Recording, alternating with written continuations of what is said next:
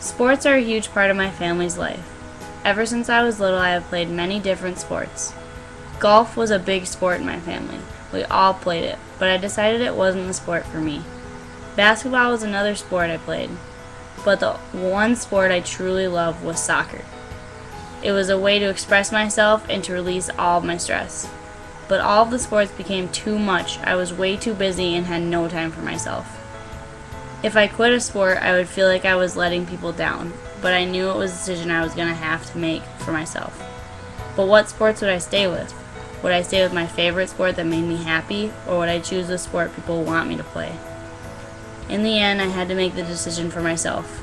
I chose soccer, the sport that truly made me happy.